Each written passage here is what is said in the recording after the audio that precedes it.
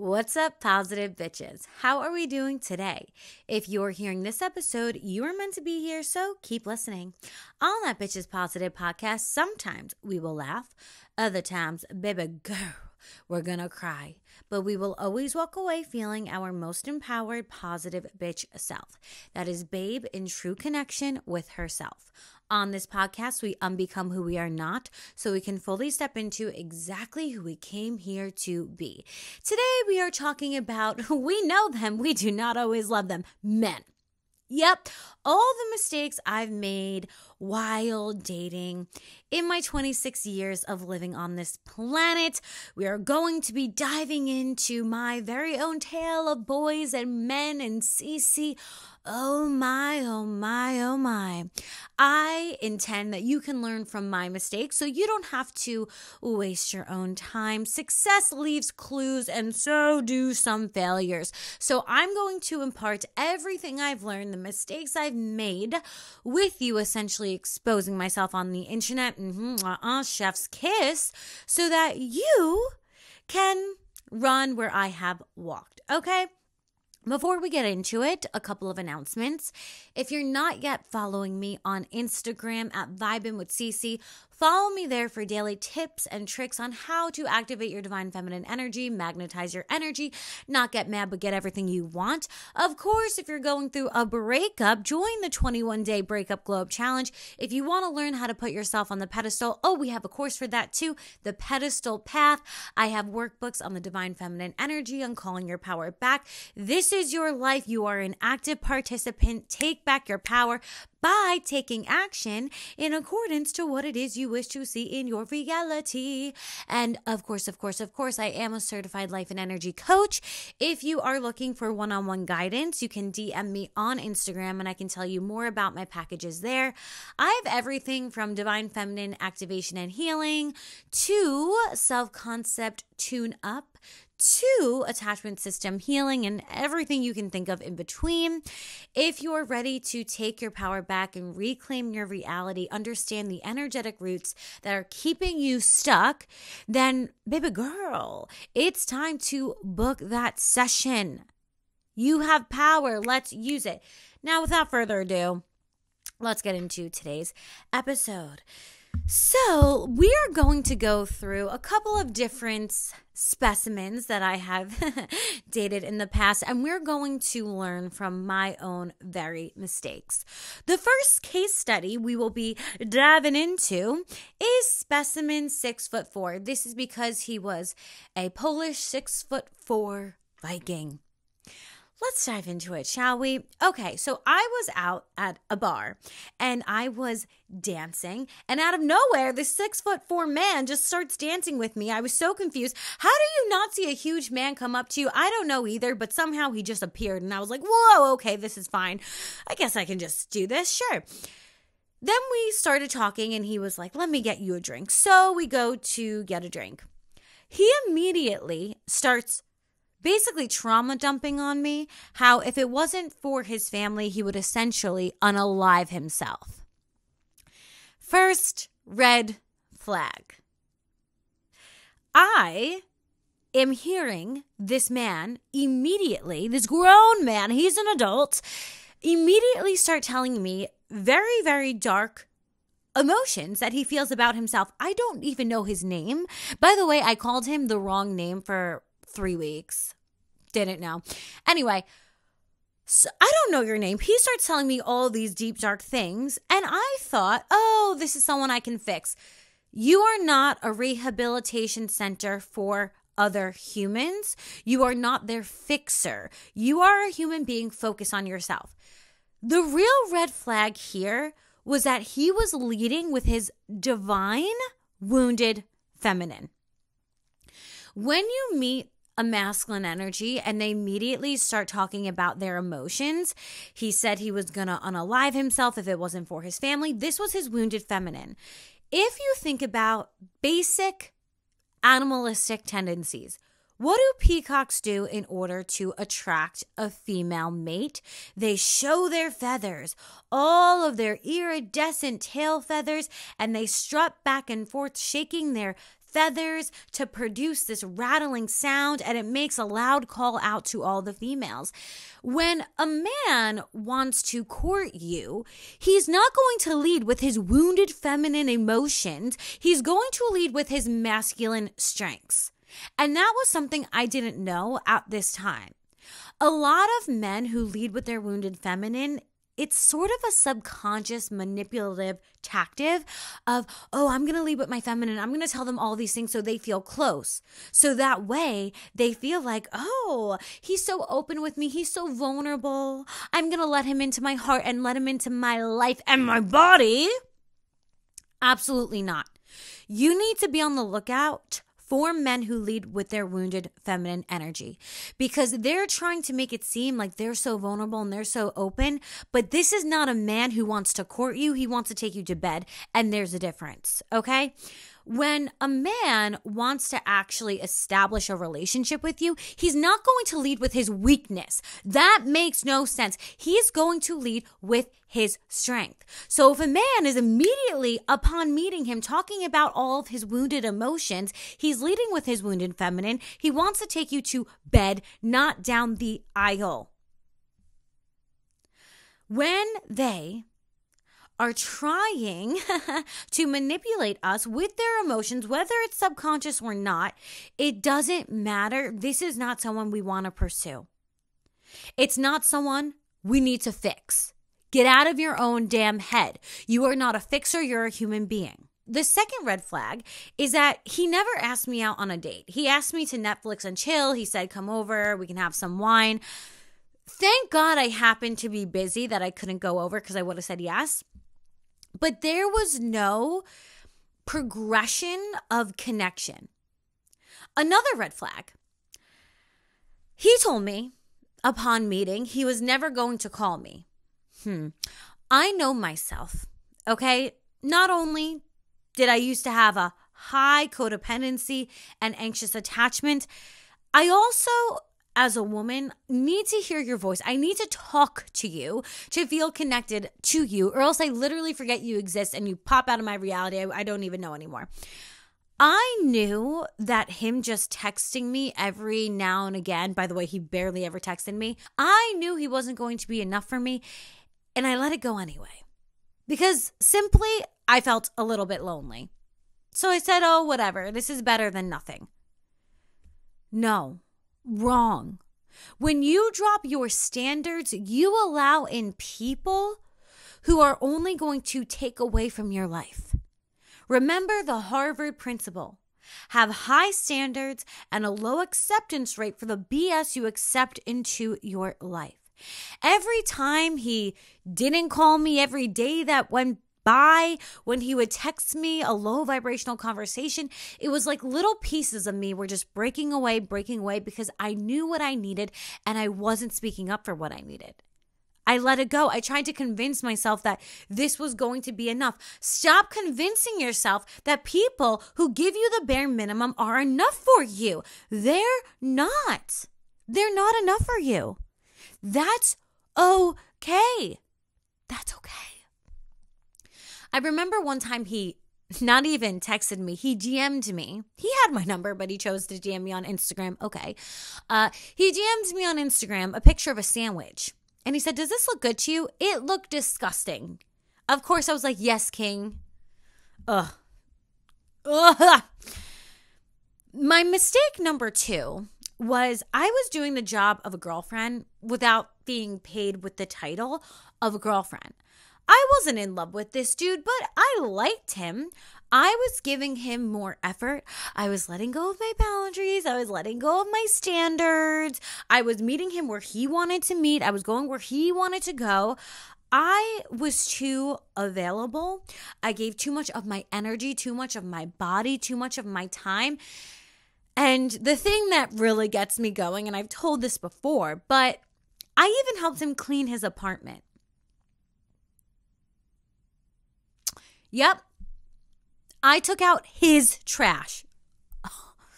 Oh, God. Oh, God. Yeah. The kicker for me, the cherry on top of the cake, if you will, was there was a book next to his bed that literally, I cannot remember the title because God doesn't even want me to know it. That was literally about disproving the existence of God. And then I said, I got to get the hell out of here. Got to get out of here. This man was everything I didn't want, yet I kept allowing him into my life. And what we allow into our life, we amplify. This was a jump scare for me. My mistake number one was not realizing the red flags, was not realizing that he was leading with his wounded divine feminine. He wasn't making the plans, he wasn't giving effort. I was mistake number two, doing the job of a girlfriend without getting paid with the title. And that brings me to mistake number three, which is intimacy. Being intimate with someone who I knew couldn't give me what I needed. Energy transference. When you are, whether you like it or not, this is not a conversation for you to try to disprove. It's true. I don't care if you don't believe it. This is true. It's like gravity, it applies whether you believe it or not. Energy transference is always going to happen when you're intimate with another person. What does this mean? Some of your energy goes onto them and some of their energy goes onto you. It's like putting both of your energies into a blender and then drinking that smoothie, okay? It's like gluing two pieces of paper together and then trying to rip them apart. It gets messy when I was intimate with this person, some of his negative energy got onto me. And then I started having negative thoughts about myself. I started thinking low about myself. Of course, I did that because his thoughts about me were low. He was disrespecting me. He just thought, oh, this is some girl who cares. And I started taking on his low vibrational entities, his low vibrational thoughts. When you go out and you just meet a random person, you don't know their demons, okay? You don't know their traumas. You don't know all their low vibrational things. I had a God wink because this man literally told me to my face I would unalive myself if it wasn't for my family. He literally told me to my face how low in vibration he was, but I was like, oh, it's fine. no, it wasn't. No, it wasn't. These are the things we need to stop doing to ourselves. And of course, mistake number four was that even as the relationship continued, if we can even call it a relationship, it was really a situationship. Even as it continued, I still never spoke up. Instead of me speaking up for my own needs as it got more serious, even after we were intimate, what did I do? I ghosted myself and said, Oh, Jump scare once again. I ghosted myself instead. Our relationship to ourselves will be mirrored back to us in our external reality. Baby girl, if you don't want to be ghosted anymore, stop ghosting yourself. I ghosted my wants, my desires, my values, my boundaries, and my standards. And guess what he did to me? He ghosted me too, because how I treat myself is the biggest teacher for how others are going to treat me too. It's the biggest indicator of how other people are going to treat me too. I showed him how to treat me because I let go of my boundaries, let go of my values, I let go of my center. So, of course, he's not going to respect it either. If I can ghost myself, why wouldn't he be able to ghost me Two, we're so afraid as women, I believe, to speak up for our needs because we're afraid to be perceived as needy. But guess what? The squeaky wheel gets the grease. When you're courageous enough to place yourself on your pedestal and speak up for your needs, your needs will be met from the universe and from your partners. When you place yourself on the pedestal, other people will look up at you and give you what it is you desire. But when you place them on a pedestal and ghost yourself, they're going to look down at you. They're going to disrespect you too because you are disrespecting yourself. No one can displace you. You can only displace yourself, and then others will treat you accordingly to your own treatment. You have the power to change your life. And it begins by you shifting how you're treating yourself. If you don't like how they're treating you, stop allowing it. If you don't like that they don't respect you, cut them out of your life until they can do better. It's up to you. The power has quite literally always been in your hands. If you don't want their low vibrational energy, stop being intimate with them. If you want to be given the title of a girlfriend, stop allowing them to be in your life without giving you the title of a girlfriend. Stop ignoring the red flags. Put it to rest. The moral of this tale of boys and men from specimen six foot four is this. I was in a low vibration during this time. I was going out every single weekend. I was drinking away my thoughts and my emotions because I didn't even want to look at them. And because I was in a low vibrational place, disrespecting myself, I attracted someone who was also in a low vibration place who was also going to disrespect me and who was also not going to see me as the prize that I truly am. Another moral of the tale of boys and men is I gave too much of myself away too soon and in general. The other part of this is I ghosted myself and so he ghosted me too. Hear me when I say giving more of what already isn't appreciated won't get them to commit to you. You committing to yourself and saying, I'm not going to allow this, that will shift them. That will shift you. That will shift your reality.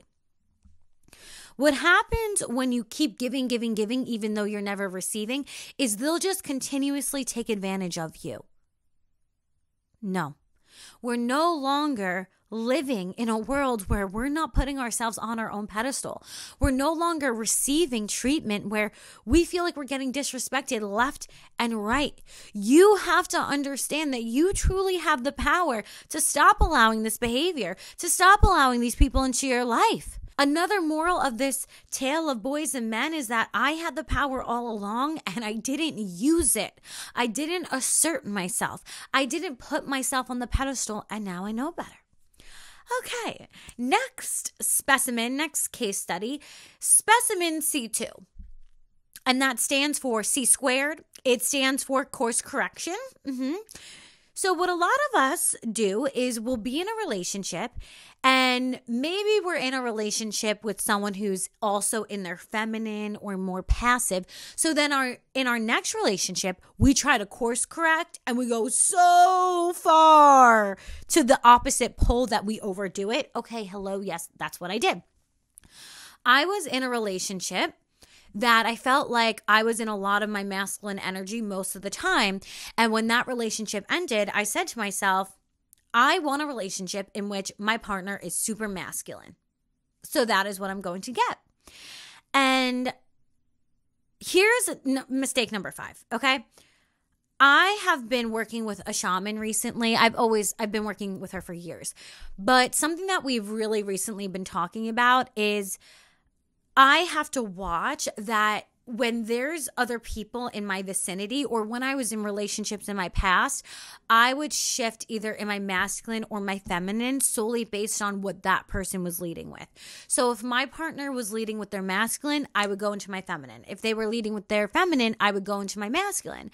And what this shaman has been working with me to do is understanding that my feminine energy is my responsibility. Disclaimer there will be partners who make you feel unsafe, so you do go into your masculine energy.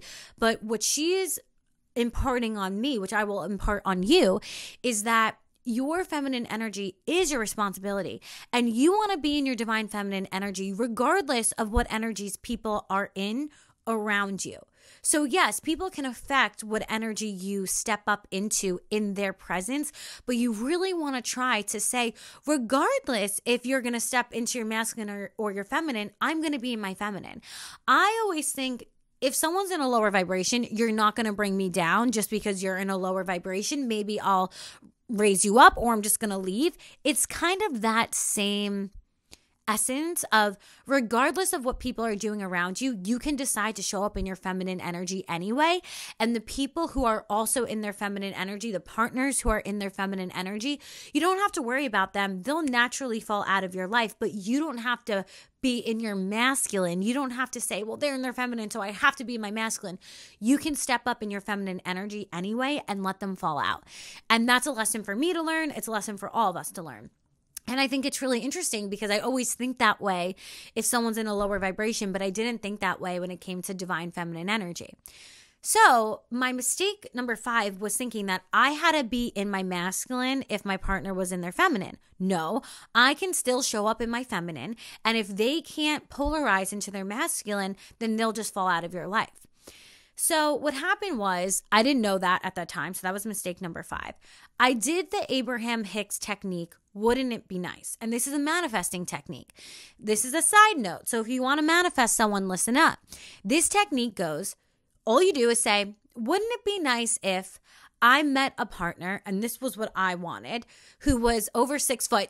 I said one physical thing, get over it. Over six foot, who likes to read books, who had a relationship with God, who was into working out too. And that was basically it, I think. And so I ma- I manifested. Oh, how could I forget? The most important thing was that he was very much in his masculine energy. That was like the first thing that I said. I manifested exactly that within like a week. A week, okay? Now, my mistake, I was not specific enough, and that came to bite me in the butt a little bit later. So, yeah, he was definitely in his masculine, uh, kind of his wounded masculine, though. He was somewhat controlling. Like every time we would take a walk, he would never let me walk in front of him. First of all, you should want me to walk in front of you so you can make sure that I'm safe. Duh. But he would always like push me behind him or like next to him. And I found this so irritating. My spirit would turn into a little flame every time. And I was like, oh God, this is so annoying. I found that very controlling and annoying. Don't like, I can't help if I walk a little faster. Like, walk faster. Anyway. He also was a different religion. And to me, I didn't care because my parents are two different religions and it's not been a problem for them. But I knew it was going to be a problem for him. So I was like, I got to cut my loss here and get out of this. He also had very constricted views on women. And I was like, bro, like, I am. I'm like pretty traditional in my thoughts about women and men, but you are like on some other level that I, I can't even like beyond. Okay, beyond. So, yes, I manifested someone who liked to work out, He was like an MMA person, mixed martial arts. He literally said, Let's start our own book club. He had a relationship with God, but different religion. So, be specific. But also, I said masculine. I didn't say a healed masculine. Should have said that. But the biggest mistake that I made here is I thought the masculine was so about the 3D. And I thought it was about like this more so dominant, kind, not controlling, but like dominant, a little bit controlling maybe. But that's not what the divine masculine is. The divine masculine is so much more about a person who can be present with you, who can be grounded when you feel ungrounded who can withstand your emotional storms, who can be there when you're having heartache and can hear you when you're having pain. I now realize a masculine energy isn't about, you know, who's the most masculine when they walk in and have this, you know, stance and the job and the blah, blah, blah. It's more so about who actually has that quiet confidence, who can be there with me when I really need them because that's what masculine energy is it's presence, it's being able to provide safety and security. That dominant energy he brought didn't feel safe and secure, it felt really constrictive. And that was my mistake number six. I didn't understand. Number five was I didn't understand that I can be in my divine feminine energy regardless of what other people are doing. And number six was I thought the divine masculine was this 3D image of this dominant man, but really it's about someone who can be present with you. So, the moral of this tale of boys and men is I had the wrong idea about masculine energy and I had the wrong idea about feminine energy. I also think I learned that the grass is greener where you water it. I was thinking, oh, this person's so passive, and I was uh, labeling so many negative meanings about that prior relationship. And I thought the grass was going to be greener with this more masculine man. But every single partner is going to have different problems. And you have to decide what set of problems can you live with. Who's going to annoy you the least? As a Capricorn, that is something I know very well. The grass is simply greener wherever you water it. I also realized that even though specimen C squared wasn't my husband, I realized that he was a better vibrational match and closer to what my husband's going to be than specimen six foot four. While you're dating, It's okay that you don't find your husband in one second. It's okay if you date around, whatever. Realize that while you're dating, though, contrast leads to clarification. And see how each of your matches is getting better and better and better and better. Specimen C squared was a lot closer and felt a lot better than specimen six foot four. He wasn't it, but he was closer. And you have to celebrate your little and big wins when you can to just not get burnt out from dating. Next case study specimen X, EX, like my ex partner. Okay. I wanted a break from specimen X so badly, but I could not get myself to actually break up with him. I knew I needed space. I knew I needed time to focus on me, but it was so difficult for me to to just end it. Mistake number 7 was me thinking that this was about him when really it was about me. Our relationships, as I said before, are our biggest mirrors for our own wounds and our own feelings and our own inner world. I was thinking, well, maybe I'm meant to stay with this person right now. Maybe I should keep them in my life. Maybe they're just the one. No, CiiCii, it's just your anxious attachment. That's it. Girl, you just have some wounds. Understand that your partners are not going to be all love and light and rainbows and daisies. They are going to trigger you. They are going to be a mirror to your own wounds. And when you feel like I'm obsessed with this person or I can't break away from this person, understand it's not about the dude, it's about the dynamic that the dude is supplying to you. And therefore, it's more about you and how they're fitting into a story you've been telling yourself than it's actually about them being the one. I had to take a step back and say, I need some healing. I need to focus on me because this relationship is showing me that there's something within me that needs love, that needs connection, that needs healing. Not that this person is just the one. Mistake number eight was I knew my intuition was telling me for a very long time you need space, you need space, you need space. But I wasn't listening to it. And I kept trying to push it down, push it down, push it down, push it down. And eventually, me and Specimen X got so toxic for one another that this brings me to mistake number nine. I drove them to a point that they're like, I can't, I can't do this anymore and they ended up just ending it with me. I could have, if I had the strength, ended it with them, but I had anxious attachment, haha. And so I couldn't at that time. And the mistake number nine is I I begged them to stay with me. I begged them for love. Baby girl, begging someone to love you is your own red flag. Your soulmate is not going to be someone you have to beg to love you. You begging someone to love you is pointing towards something much deeper. Maybe it's anxious attachment. Maybe it's a wound that you've never felt good enough, but either way, it has nothing to do with them and it has a whole lot to do with you. You want to fill that hole you're feeling within you? Oh, okay, get a life coach, go to therapy, start praying to God. That person can never fill that hole because they are not the ones who created it. This hole has been within you for a very, very long time. They might be the band aid on the bullet wound, but they can never fill it up like you can. This hole requires you to focus here. This hole requires you to water it, you to look at it, you to nurture it, not them.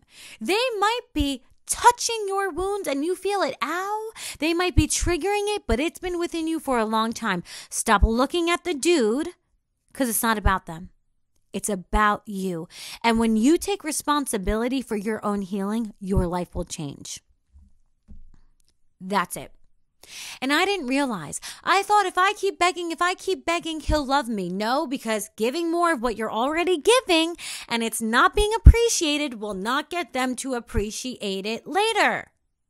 Not everyone can see value when there is value.